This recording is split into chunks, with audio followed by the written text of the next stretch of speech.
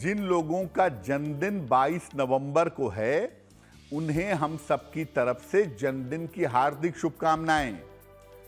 आने वाले वर्ष में अपने करियर का बहुत ध्यान रखिएगा, क्योंकि वहाँ पर थोड़ी दिक्कतें हो सकती हैं। स्वास्थ्य की समस्याओं से और दुर्घटनाओं से आपको बचना होगा हालाँकि आने वाले साल में धन की स्थिति आपकी कुल मिलाकर अच्छी बनी रहेगी। अक्टूबर से आपकी स्थितियों में सुधार होता दिख रहा है, लेकिन तब तक आप अपने जीवन में सावधानी बनाए रखिएगा। क्या करेंगे? पूरे साल भर राहु के मंत्र का जप करें। ओम रांग राहवे नमः।